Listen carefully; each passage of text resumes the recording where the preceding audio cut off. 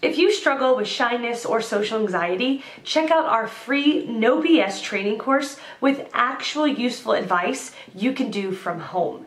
None of that just get out there nonsense. The link is in the description below. For now, let's get to today's question. The question, as someone with severe social anxiety, how is your dating life? Answer by Jeff Anders. Follow Joseph La. Deuce new opus, Anxiety. Find the audiobook and then do the inner work.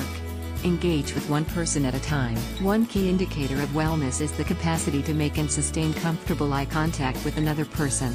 None of these moments last long, but you need to be your own witness on what has just transpired. How did it feel? Answer by Leffy Smite. Fine. You find someone who connects with you and embraces the awkwardness. Don't force anything while trying to flirt. You are you and the right person will come along. Just wait. Trust me, everything will be alright. Answer by Lizette Moreno. I need constant reassurance that my girlfriend actually likes me. But I fear that if I ask her every five minutes like a child, that it'd annoy her. I worry that I'm not good enough. I worry that she'll see my lack of confidence in myself, and thus need of reassurance, as my lack of trust in her even though that's not what it is, or at least not what I intend it to be. I wonder if she ever pretends to be okay with my flaws. I wonder how she could even like my through my flaws.